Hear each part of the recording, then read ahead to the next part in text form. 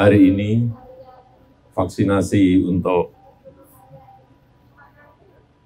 tenaga pendidik dan ke pendidikan telah dimulai dan saya tadi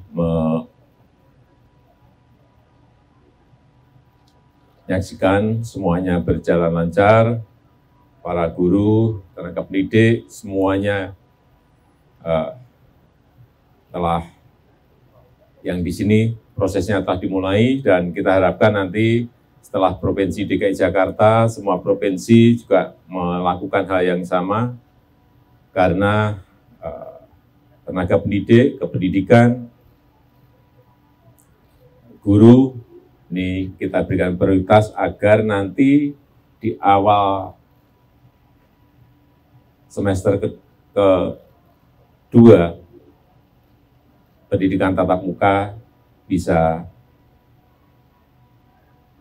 kita mulai lakukan. Dan targetnya pada bulan Juni nanti 5 juta